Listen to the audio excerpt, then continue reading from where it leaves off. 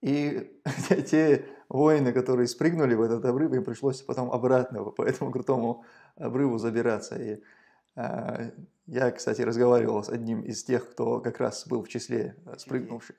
Их лидеры, они воруют, своровали там огромное количество нефтяных денег, и их родственники находятся за границей, живут роскошно, а вы тут под э, бомбежками, вашей жизни в опасности. Они Я а, скажу честно, мое личное отношение к подобного рода а, операциям, я их а, не приветствую, потому что очень большие риски потерь среди мира.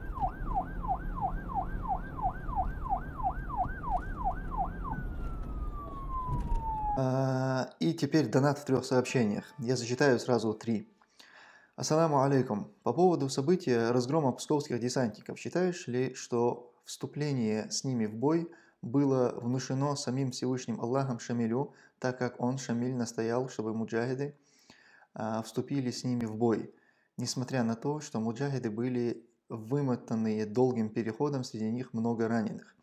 А Амир Хатаб даже сначала а, пререкался с Шамилем, говоря, что можно пройти мимо них, не вступая в бой – по итогу боя трупы десантников были свалены в одну кучу, как будто специально перетащили их а, в одно место и одинаково у всех ранения в голову и под горлом, и на лицах застывший ужас. Ведь позже сам Хатаб говорил об этом бое, что это была не наша работа. Аллах внушил в этот момент своим верующим рабам, чтобы они вступили в бой, хотя со стороны может казаться, что нецелесообразен такой маневр, о чем и думал Хатаб – оказал по своей милости помощь им, послав своих ангелов. Ва алейкум ассаламу раматуллаху баракату. А, как ты понимаешь, такие вещи, о них можно как бы рассуждать, можно предполагать, но ни, ни о чем нельзя говорить уверенно. А, как бы там ни было, чья бы это ни была помощь в плане, будь то ангелы, будь то джинны, а, безусловно, мы знаем одно. На то была воля Всевышнего Аллаха, но а, после того, как я изучил эту тему, поговорил с участниками тех событий, сделал с ними интервью, которое, к сожалению, а, которому не суждено было выйти 29 февраля этого года, но я надеюсь, что мы его все-таки опубликуем, когда будет такая возможность. Так вот, изучив эту тему, я узнал, а, что пререкание Хатаба с Шамилем, это, оно было не, не, не в плане а, боя с ними, то есть не первого боя.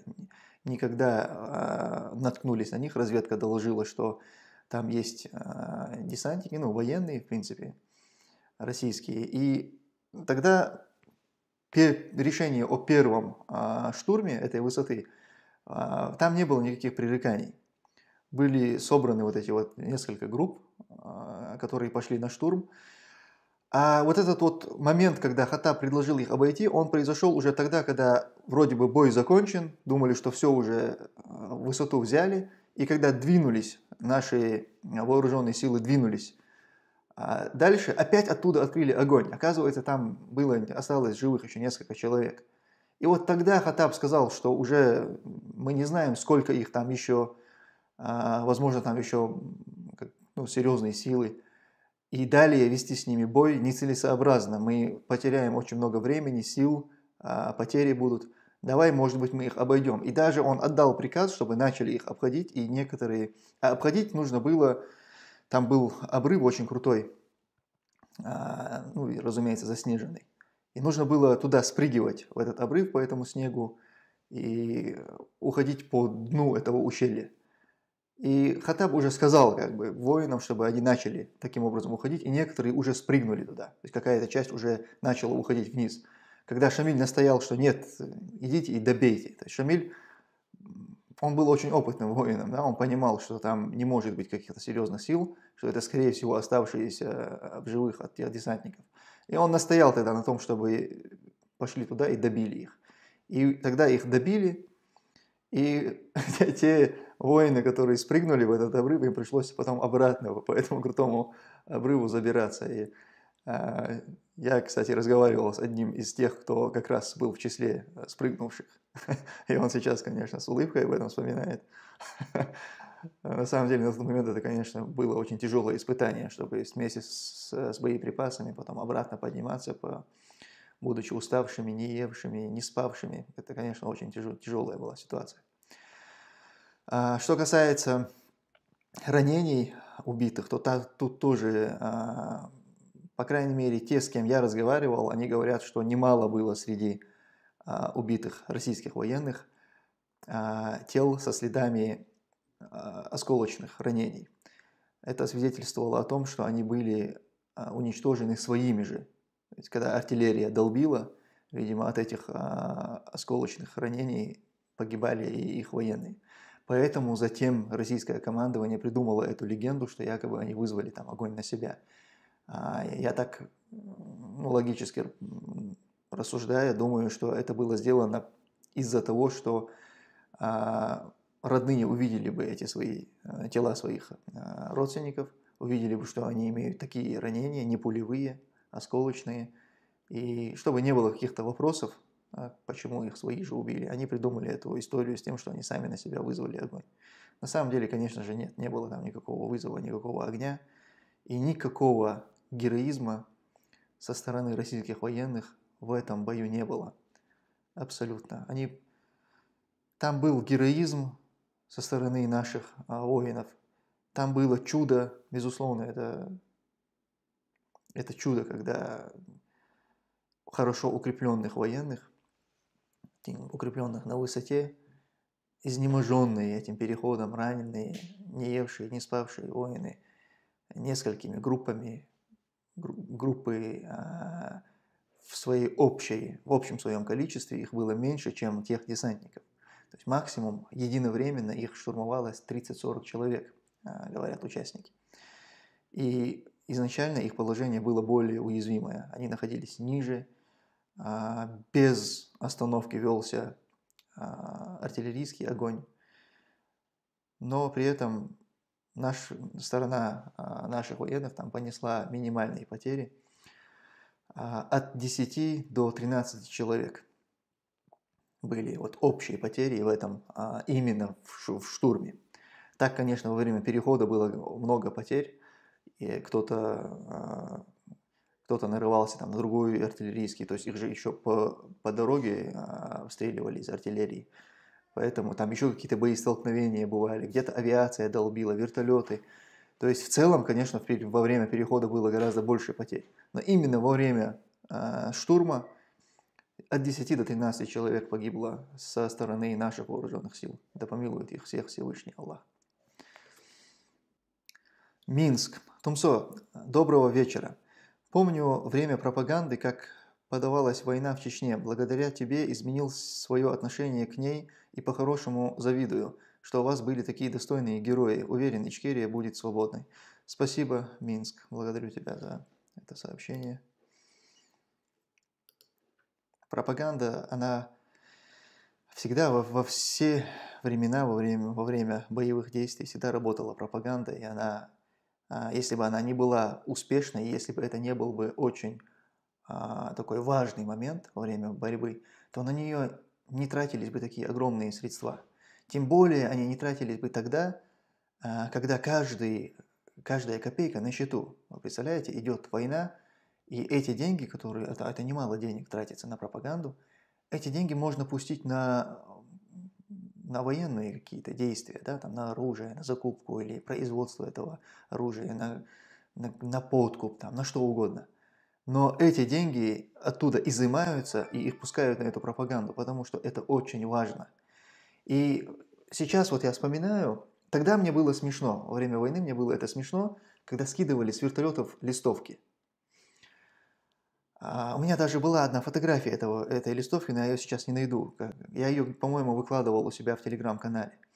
Тогда мне было смешно. Сейчас я понимаю, насколько они заморочились. Вы представляете, они думали даже таким а, способом вот эти вот настроения людей изменить. Они скидывали листовки, где они писали «О жители Чечни, задумайтесь, кого вы защищаете, кого вы а, приютили там в своих селах, кому вы помогаете» кого вы кормите, прячете. их лидеры, они воруют, своровали там огромное количество нефтяных денег, и их родственники находятся за границей, живут роскошно, а вы тут под э, бомбежками, вашей жизни в опасности. Они писали такие вещи. Тогда мы это читали, и нам, мы просто это выкидывали, топили этим печки. Нам было смешно. Мы думали, а кого хотят обмануть. А на самом-то деле, сейчас уже смотря назад, я понимаю, это тоже была пропаганда, это тоже был важный момент. И наверняка находились такие люди, которые покупались на это, которые ну, меньше как бы анализируют, у них меньше информации, они меньше задумываются. И они, может, действительно думали, а где, где там наши лидеры? У них, наверное, действительно дети там где-то за границей. Хотя нет у нас, наших лидеров, детей тогда не было за границей. Дети наших лидеров также погибали, воевали вместе с обычными нашими воинами – все эти трудности этой войны переживали на себе.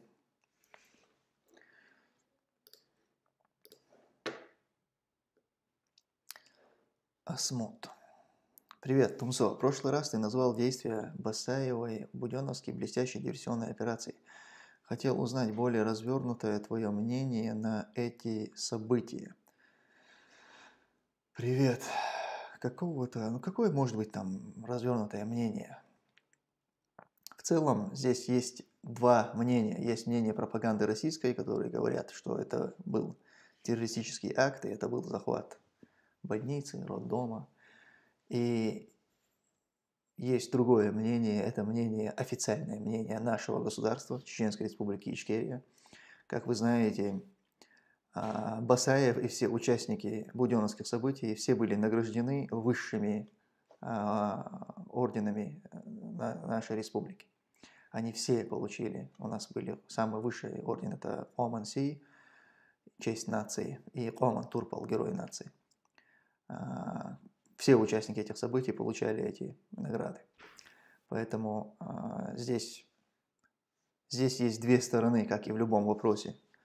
И здесь просто нужно анализировать это с точки зрения а, намерения. То есть с каким намерением туда шли эти ребята. Они не шли туда, чтобы захватывать больницы или роддома, они туда шли для того, чтобы вступить в бой. Они вступили там, кстати, в бой с военной э, частью, расположенной в Буденновске. И уже уходя оттуда, они забаррикадировались в этой больнице.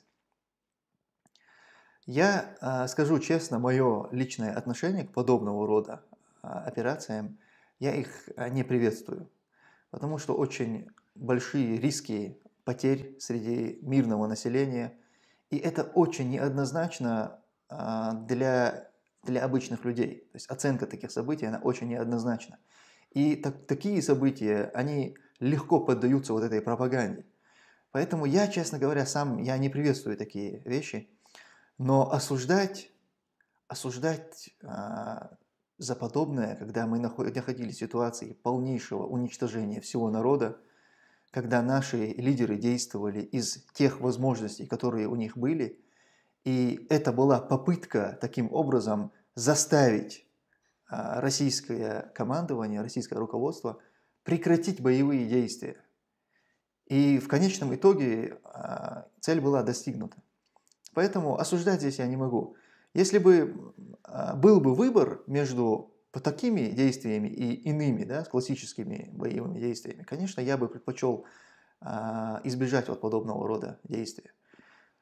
Но осуждать за такое я не могу. Это я сейчас говорю только о Буденовске, имейте в виду, только о Буденовске. К другим событиям, таким как Беслан, допустим, отношение однозначно а, негативное, это, а, и это осуждается, безусловно.